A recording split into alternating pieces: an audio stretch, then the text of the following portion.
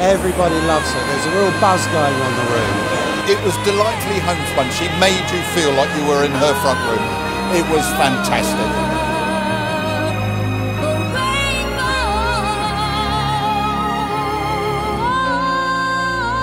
The clarity of that woman's voice, amazing. I've sat with a lump in my throat.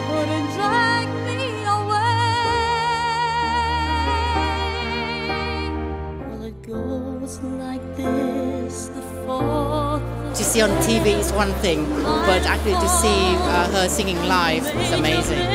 Fantastic, absolutely fantastic. She got the emotion across to the whole audience. She moves you with her voice and the emotion she puts into it.